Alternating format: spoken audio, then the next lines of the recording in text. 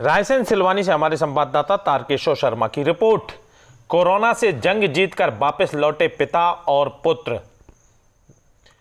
सिलवानी में कोरोना का कहर धीरे धीरे कम होता जा रहा है। वहीं कोरोना से जंग जीतकर वापस लौटे मेडिकल संचालक का एक पुत्र और दो पोते, जबकि मेडिकल संचालक की इलाज के दौरान मौत हो चुकी थी, जिससे लोगों में काफ़ी दुख हुआ था, जिसके बाद लोगों में काफ़ी दहशत भी थी। लेकिन गुरुवार को सिलवानी में पिता एवं पुत्रों को कोरोना वायरस को मात देकर वापस आने के बाद सिलवानी नगर में खुशी की लहर आ गई। सभी को एंबुलेंस से उतरने पर ताली बजाकर एवं जयकारे लगाकर उन तीनों का स्वागत किया गया। सिलवानी से हमारे संवाददाता तारकेश्वर शर्मा की रिपोर्ट। बमीठा से हमारे संवाददाता अशोक नामदेव की रिपोर्ट। अधेड़ महिला की लाश कुएँ में मिली, क्षेत्र में सनसनी फैली। पुलिस और हंड्रेड डायल मौके पर पहुँची। गंग बहा बसरियाई के कुएँ में अधेड़ महिला गेंदाबाई पति लल्ले कुशवाहा की उम्र 50 वर्ष, निवासी मानकपुरा गंग बहा में लाश कुएँ में तैरती मिली।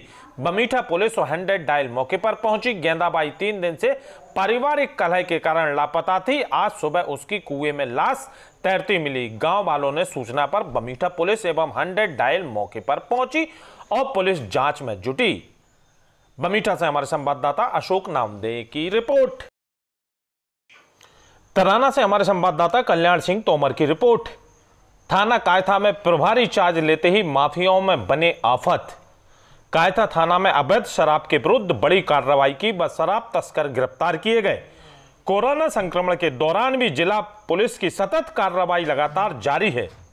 अपराधियों की धरपकड़ हेतु जिला पुलिस कप्तान श्री मनोज सिंह के निर्देशन में ज़िले की पुलिस द्वारा लगातार बड़ी कार्रवाइयों का अंजाम दिया जा रहा है। इसी के चलते थाना कायथा में पुलिस टीम ने अवैध शराब जब्त कर आरोपी को गिरफ़्तार करने में सफलता प्राप्त की।